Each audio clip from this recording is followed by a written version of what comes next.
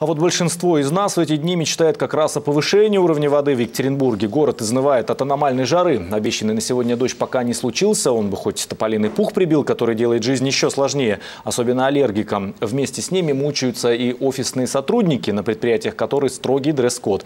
Ведущий новостей, кстати, не исключение. Анастасия Довга попыталась измерить среднюю температуру по офисам и спросила совета у стилистов, а как совместить неприятное с полезным.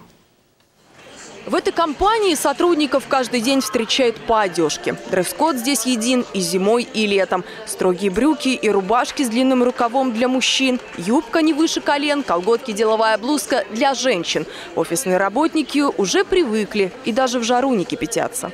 Так как мы занимаемся серьезным делом и серьезно подходим к своей работе, к своим должностным обязанностям, в связи с этим мы относимся серьезно к своему внешнему виду.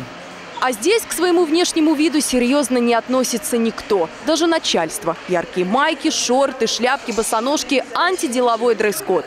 Но по словам руководства, лето в офисе еще не означает лето в голове. Наоборот, свобода в одежде только помогает работе. У нас по состоянию души. Вот я сегодня устала, хочу так. Мне так хочется. С вечера вообще о другом думала. А вот с утра так 40 раз переоделась. Наверное, так все девочки одеваются. И слава богу, нам руководство позволяет самовыражаться. Но если легкомысленный внешний вид табу для сотрудников, от жары стилисты советуют им спасаться с помощью тканей. Подойдут шелк, лен, вискоза и даже тонкая шерсть. Но лучший вариант – хлопок. На лето это более комфортный материал, чем, э, допустим, традиционная шерсть. В нем не так жарко, и, э, но стандартный хлопок мнется. А вот хлопок в рисунок хоть и мнется, но на нем это незаметно. Правда, многие компании с повышением температуры все же закрывают глаза на детали. Например, сотрудникам временно разрешается забыть про колготки и сменить туфли на сандали. Главное – соблюдать офисные приличия. Горожане к этому относятся неоднозначно. Организации, которые работают с клиентами, они должны как-то выглядеть соответствующе. В шортах неудобно все равно, смотря куда идешь, если встреча какая-то деловая. В любом случае шорты же не оденешь, правильно? А нужен кондиционер хороший в офисе, а так все зашибись.